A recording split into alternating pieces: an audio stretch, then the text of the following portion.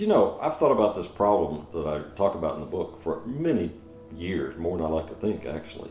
I'm concerned as a believer in the foundations of morality and uh, cultural uh, norms and so forth, and I knew intuitively that evolution uh, undermines all of the values that our country, our culture is based on.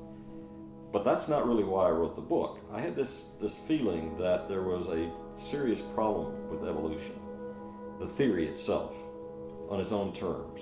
And somehow, I don't know where I came up with it, but I knew the problem had to do with sex, the origin of sex, uh, the role that sex would have played in uh, the descent, the common descent that is at the core and center of Darwinian evolution. So I just thought it's time to give some serious research to that and and see is there a problem?